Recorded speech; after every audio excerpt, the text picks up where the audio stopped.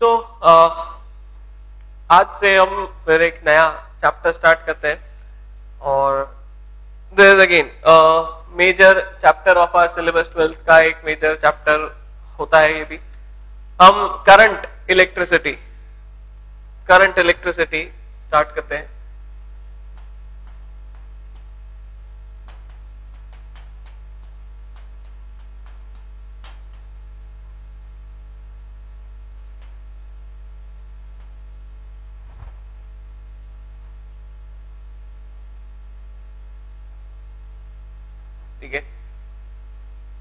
Now in this chapter इस chapter में हम जो पढ़ना चाहेंगे, जो हम देखना चाहेंगे that is the phenomena related to the motion of charges when charges are flowing when charges are in motion charges जब मोशन में होते हैं, तब चार्जेस से रिलेटेड इलेक्ट्रिक फिनोमेना क्या क्या डेवलप होते हैं क्या क्या फिनोमेना हमें देखने को मिलते हैं।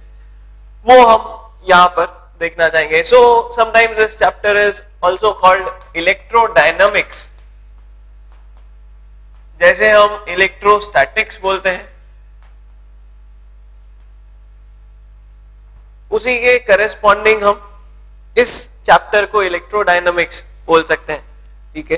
जैसे फ्लूइड स्टैटिक्स और फ्लूइड डायनामिक्स में क्या डिफरेंस होता है? In fluid statics the fluid is at rest in fluid dynamics the fluid is flowing it is in motion similarly यहाँ पर हम करंट इलेक्ट्रिसिटी इलेक्ट्रोडायनामिक्स का जो ये सबसे पहला चैप्टर है करंट इलेक्ट्रिसिटी इसमें हम वो फिनोमेना देखना चाहेंगे, हम उन फिनोमेना को समझना चाहेंगे, which occur due to motion of charges or we can say flow of charges.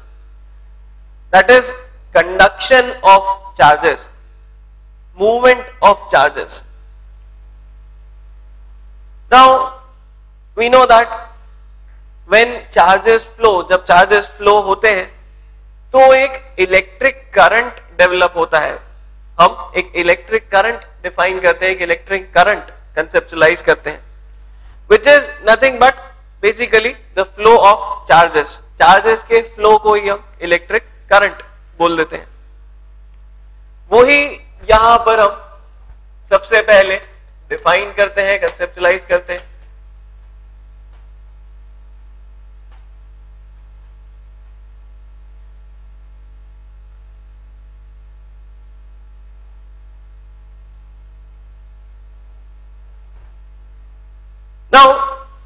हम बोल रहे हैं the basic difference between electrostatics and electrodynamics is that in electrostatics we were dealing with charges in charges at rest उसमें charges rest पर थे। अब यहाँ पर इलेक्ट्रोडायनामिक्स में जो हम देखने जा रहे हैं that is when charges are in motion जब चार्जेस मोशन में होते हैं, तब क्या क्या फिनोमिना होते हैं। और उसमें भी अभी सबसे पहले हम इलेक्ट्रिक फिनोमिना तक ही अपने आप को रिस्ट्रिक्टेड रखेंगे। फर्दर जब हम इस चैप्टर में जाएँगे, तब हम देखेंगे there are also other effects related to current electricity, related to electrodynamics which are not electrical effects, वहाँ पर हम हीटिंग effects देखेंगे केमिकल effects देखेंगे मैग्नेटिक effects देखेंगे। सबसे पहले हम चार्जेस के मोशन से होने वाले इलेक्ट्रिक फिनोमिना इलेक्ट्रिक फिनोमिना सारे समझना चाहेंगे। नाउ क्वालिटेटिवली इलेक्ट्रिक करंट ही वो टर्म होती है, उसी टर्म को हम इलेक्ट्रिक करंट बोलते हैं, जो हम यहाँ फ्लो ऑफ़ चार्जेस कह रहे हैं। In very crude terms, that flow of charges is defined as electric current. Flow of charges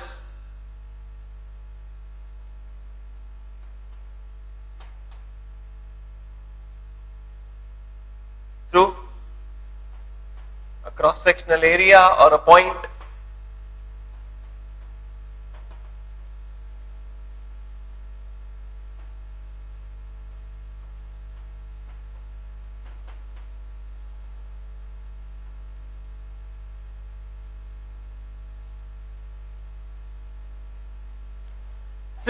charges in some medium किसी मीडियम में चार्जेस का फ्लो हो रहा हो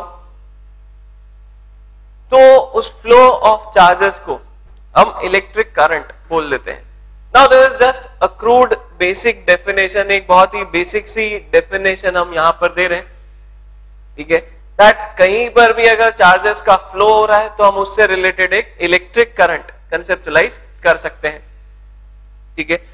नाउ चार्ज का फ्लो कैसे हो सकता है? जब कोई चार्ज पार्टिकल्स का फ्लो हो रहा चार्जेस का फ्लो कैसे हो सकता है? When there are some charge particles which are flowing कोई चार्ज पार्टिकल्स जब फ्लो करेंगे, तभी वहाँ पर चार्ज का फ्लो होगा। नाउ हम अलग अलग केसेस देखते हैं कि ये चार्जेस का फ्लो किन किन तरह से पॉसिबल है। What are the ways in which this charge can flow in various medium अलग अलग मीडियम में ये चार्जेस कैसे फ्लो कर सकते हैं, ये हम देखते हैं। ठीक है? Electric current in different medium flow of charges in various medium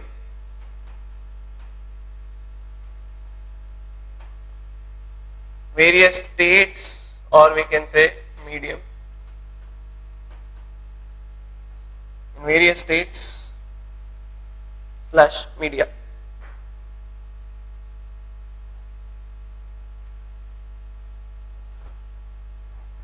Now, recall that on the basis of electrical properties, we classified materials into three types. हमने materials को तीन types में broadly divide किया था conductors, insulators and semiconductors.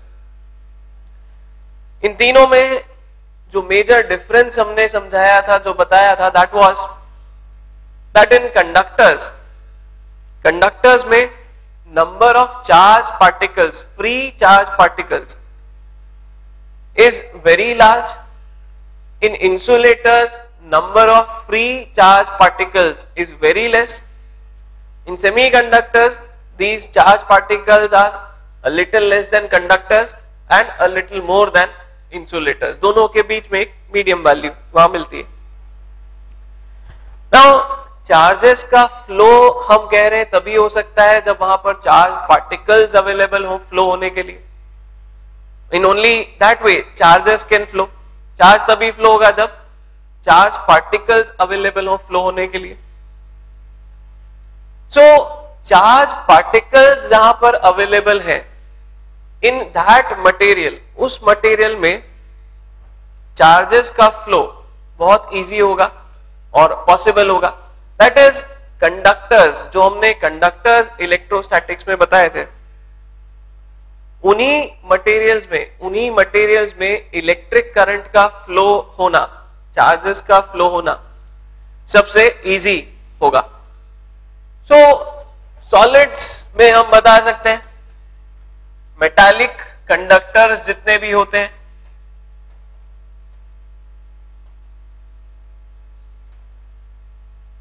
जितने भी metallic conductors होते हैं, इनमें किस तरह से इलेक्ट्रिक करंट फ्लो होता है we say that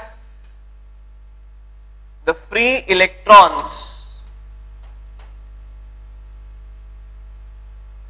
free electrons contribute flow of charge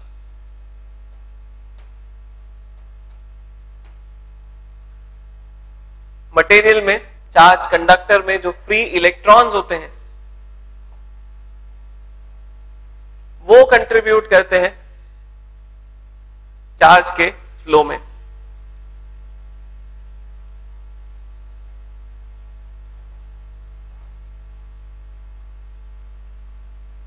ठीक है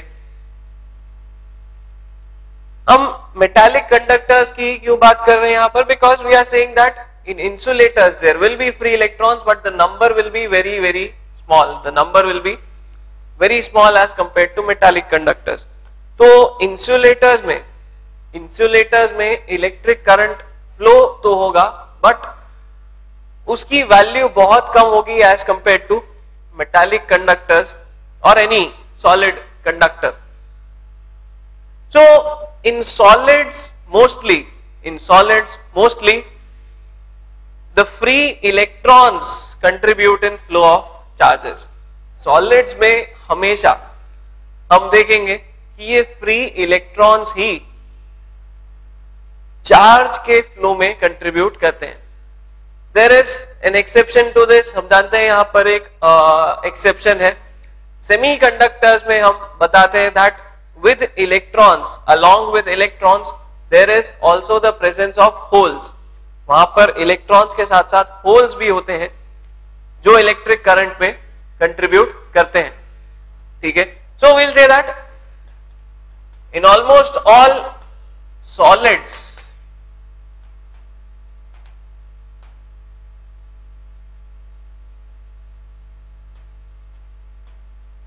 current is due to flow of electrons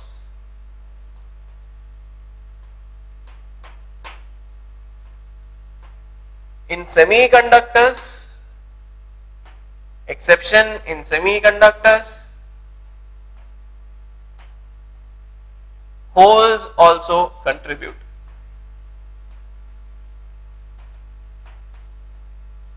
ठीक है ये होल्स क्या होते हैं? इनकी वर्किंग कैसे होती है? सब सेमीकंडक्टर में हम पढ़ते हैं।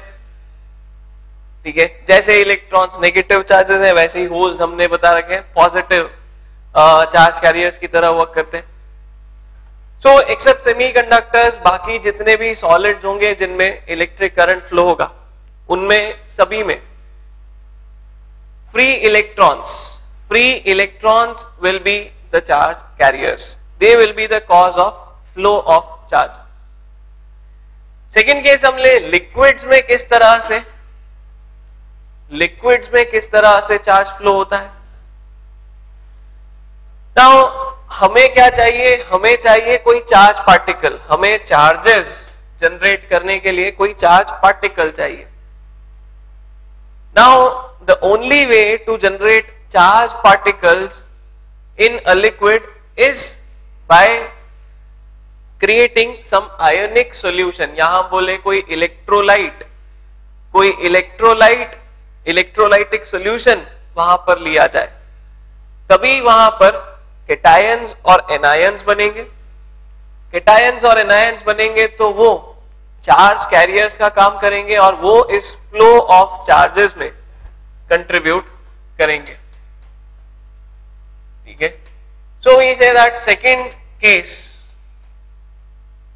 which is possible is electrolytes or we can say ionic solutions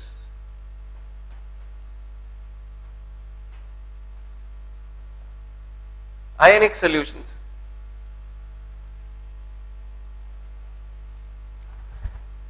The cations and anions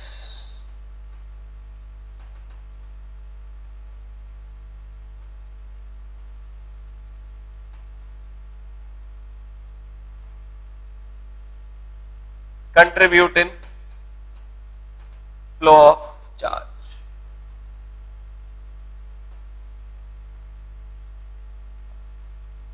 Charge flow में ये केटायंस और एनायंस कंट्रीब्यूट करते हैं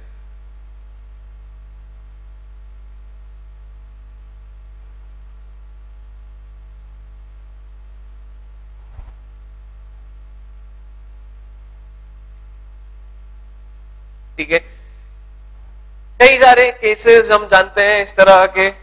जैसे सपोज़ हमने पानी में NaCl डिजोल्व कर दिया। अगर हमने पानी में NaCl डिजोल्व कर दिया तो वहाँ पर Na पॉजिटिव और Cl नेगेटिव इस तरह से केटायंस और एनायंस जनरेट हो जाएँगे। और अगर हम इस इलेक्ट्रोलाइट को फिर एक सर्किट में कनेक्ट कर दें तो यहाँ पर इलेक्ट्रॉन्स का सॉरी आयंस का फ्लो होना स्टार्ट हो जाएगा। So this how we can develop electric current in liquids liquids में अगर हमें इलेक्ट्रिक करंट डेवलप करना है लिक्विड मीडियम में अगर हमें चार्जेस का फ्लो करवाना है तो हमें वहाँ आयोनिक कंपाउंड किसी आयोनिक कंपाउंड का, किसी आयोनिक मटेरियल का सोल्यूशन वहाँ बनाना पड़ेगा। थर्ड गैसेस में किस तरह से गैसेस में किस तरह से इलेक्ट्रिक करंट डेवलप किया जा सकता है इलेक्ट्रिक करंट जनरेट किया जा सकता है। Again this is something which we study in atomic structure जो हम एटॉमिक स्ट्रक्चर में पढ़ते हैं, जो हम मॉडर्न फिजिक्स के पहले पढ़ते हैं। ये वही तरीका है जिससे इलेक्ट्रॉन की डिस्कवरी हुई थी। ठीक है we are talking about cathode rays हम कैथोड रेज की बात कर रहे हैं। गैस को एक चेंबर में डाल दिया जाता है। एक ग्लास ट्यूब में डिस्चार्ज ट्यूब में रखा जाता है। एट वेरी लो प्रेशर और फिर वहाँ एक हाई वोल्टेज लगाकर, a voltage of the order of 10 kilovolts.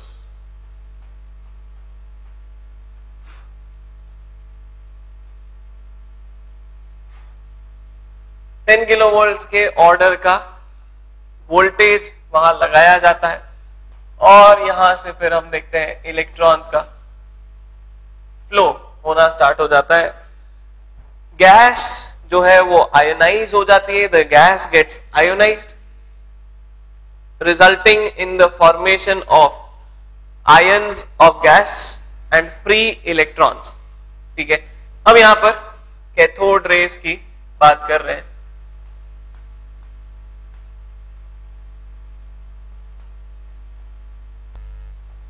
क्या बोल रहे we are talking about electric current in gases electric current through gases gases में इलेक्ट्रिक करंट कैसे डेवलप किया जाता है? ठीक है? Gases at low pressure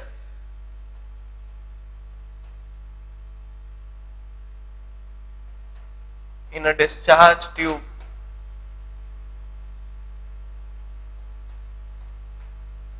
Get ionized by applying high voltage.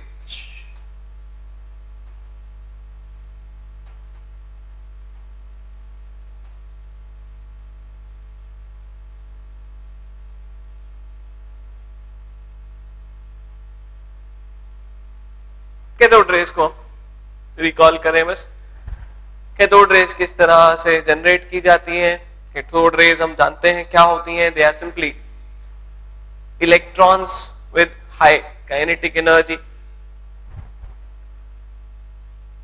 और गैसेस में इस तरह से चार्जेस का फ्लो करवाया जा सकता है। ठीक है? So the ionized gas molecules and atoms, as well as the free electrons generated from the ionized gas they contribute in the electric current ठीक है वो यहां पर इलेक्ट्रिक करंट में the free electrons and ionized gaseous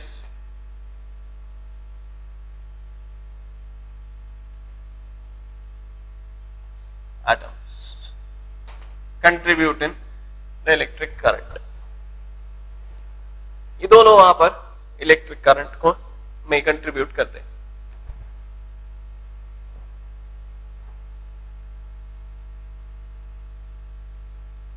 now our major concern in this chapter will be only conduction in metallic conductors हम इस chapter में mainly focus कर रहे होंगे मेटालिक कंडक्टर्स पर। बिकॉज़ ये इलेक्ट्रोलाइट्स वाला जो पोर्शन है, इसे पार्शियली हम पढ़ेंगे chemical effects of electric current में और इसे काफ़ी डिटेल में पढ़ा जाता है when studying electrochemistry which is also again a chapter of twelfth class तो हम इस पार्ट पर बहुत ज़्यादा ध्यान नहीं देंगे। हम मैक्सिमम इसी पर ध्यान देंगे। Third part again cathode rays हम एटॉमिक स्ट्रक्चर में पढ़ चुके होते हैं। और मॉडर्न फिजिक्स के पहले इसका एक बार रिव्यू और किया जाता है। सो ये भी हम आ, यहाँ पर नहीं देख रहे होंगे। इस पर भी हमारा फोकस नहीं होगा। Our main focus will be on electric current in metallic conductors और we can say solid conductors जिसमें से हम, फिर से सेमीकंडक्टर्स वाला पार्ट भी अभी नहीं देखते हैं। इस चैप्टर में सेमीकंडक्टर्स को भी एक्सक्लूड कर दिया जाता है। So mainly mainly we'll be talking about electric current through metallic conductors and insulators वहाँ पर इंसुलेटर्स का भी हम साथ साथ में एनालिसिस करते जाएँगे। ठीक है? So this how this how electric current is developed in various material various states तीनों स्टेट में इस तरह से इलेक्ट्रिक करंट जो है, वो डेवलप किया जाता है। अब हम इसी पार्ट को और डिटेल में देखते हैं। हम मेटालिक कंडक्टर्स वाले पोर्शन को। डिटेल में एनालाइज करना स्टार्ट करते हैं। ठीक है? Electric current in metallic conductors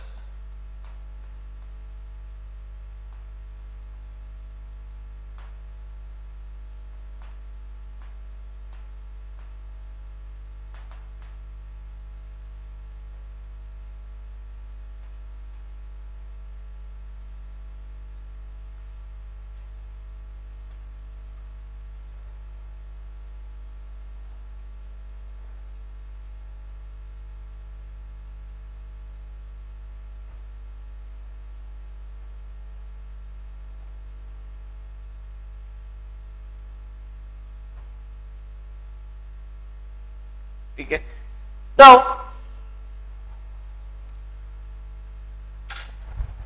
metallic conductors की स्पेशलिटी एक तरह से हम क्या बता रहे हैं? What is special about metallic conductors जो एटम्स हैं, वो तो प्रॉपरली एक क्रिस्टल स्ट्रक्चर में अरेंज होते हैं। But some of the electrons majority of electrons in fact they take the energy from the temperature of surroundings वो सराउंडिंग्स के टेम्परेचर से हीट एनर्जी इंटरनल एनर्जी लेकर अपनी ऑर्बिट्स छोड़कर बैलेंस इलेक्ट्रॉन्स जो है वो अपनी ऑर्बिट्स छोड़कर एटम से बाहर आ जाते हैं और वो फ्री इलेक्ट्रॉन्स बन जाते हैं। Also due to the close packing of the atoms in solids metals में एटम्स की क्लोज पैकिंग की वजह से जो एटम्स का आपस में इंटरेक्शन होता है उस वजह से भी इलेक्ट्रॉन्स जो है वो अपनी ऑर्बिट से बाहर आ जाते हैं। वैलेंस इलेक्ट्रॉन्स जो है वो अपनी ऑर्बिट छोड़कर बाहर आ जाते हैं। And they are free to move anywhere वो कहीं पर भी रैंडम मोशन करने के लिए फ्री होते हैं। सो so, अगर हम एक माइक्रोस्कोपिक पिक्चर देखें मेटालिक कंडक्टर की तो हमें कुछ इस तरह का केस दिखेगा। There will be a network there will be a network of metallic atoms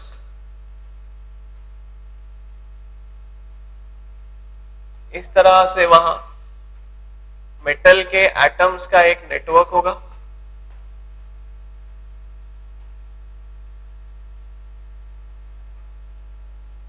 और इस नेटवर्क में हम कह रहे हैं, जगह जगह पर कई सारे फ्री इलेक्ट्रॉन्स प्रेजेंट होंगे।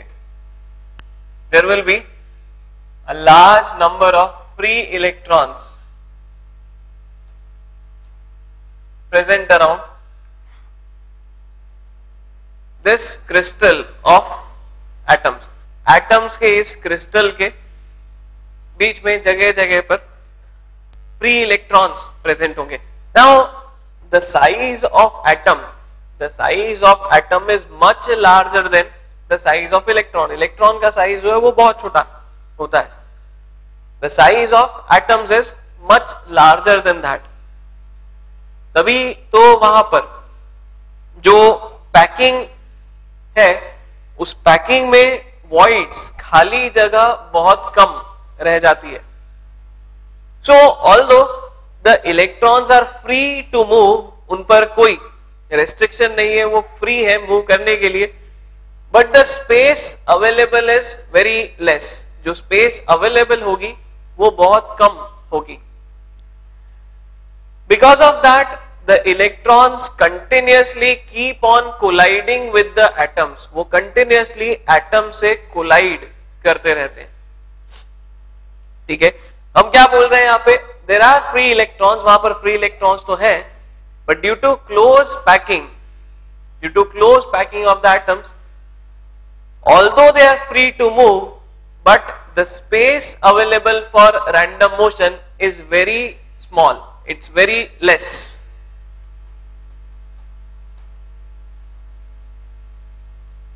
ठीक है? Due to close packing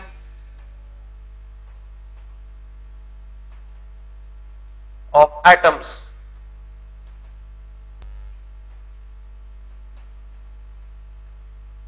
The space available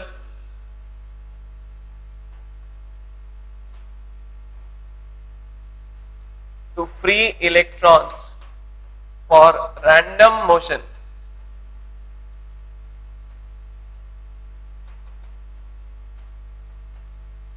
Is very less.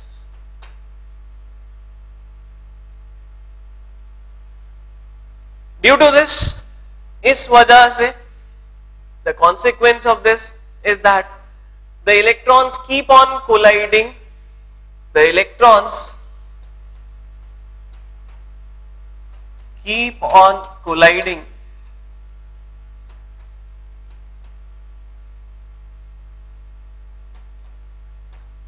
with the atoms. जो इलेक्ट्रॉन्स हैं वो